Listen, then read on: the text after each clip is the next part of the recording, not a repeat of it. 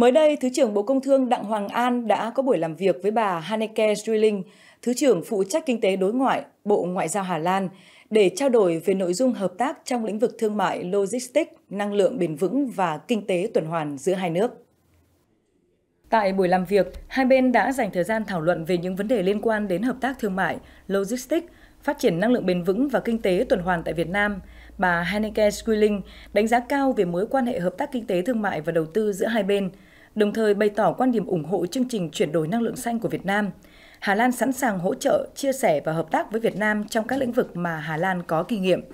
Thay mặt Bộ Công Thương, Thứ trưởng Đặng Hoàng An đã hoan nghênh sự hợp tác chặt chẽ giữa Việt Nam và Hà Lan trên nhiều lĩnh vực, trong đó có các lĩnh vực mà Bộ Công Thương phụ trách như thương mại, chuyển đổi năng lượng xanh, kinh tế tuần hoàn, logistics. Thứ trưởng khẳng định Hà Lan là đối tác thương mại quan trọng của Việt Nam và đề xuất trong thời gian tới, hai bên sẽ có những bước tiến hợp tác cụ thể, hiệu quả hơn nữa trong lĩnh vực vốn đã có nền tảng hợp tác tốt và Hà Lan sẽ quan tâm